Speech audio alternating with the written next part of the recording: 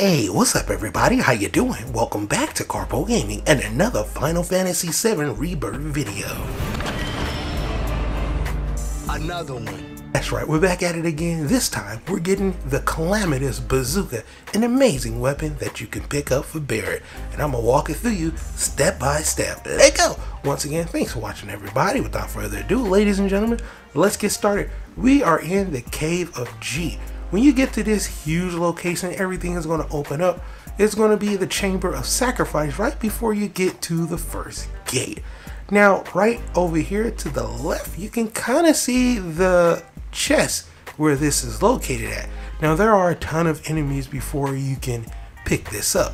So you will have to clear out these enemies. I cleared out most of them except for the last set. So let's do this. You want to head down these stairs oh, like so. And then we're going to hang a quick little left.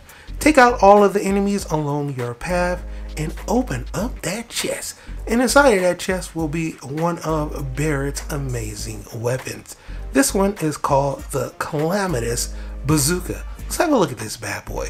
It comes with Smackdown, where you strike the ground and send enemies flying, and a proficiency bonus as well. Definitely one you want to pick up along your journeys inside of Final Fantasy VII Rebirth. But for right now, that's pretty much going to for the video. Hope you truly enjoyed it. As always, if you're new to the channel, how you doing and welcome. And don't forget to subscribe right here at Karpo Game for a wide variety of videos. So once again, thanks for watching. And as always, I'll be seeing y'all in the next one.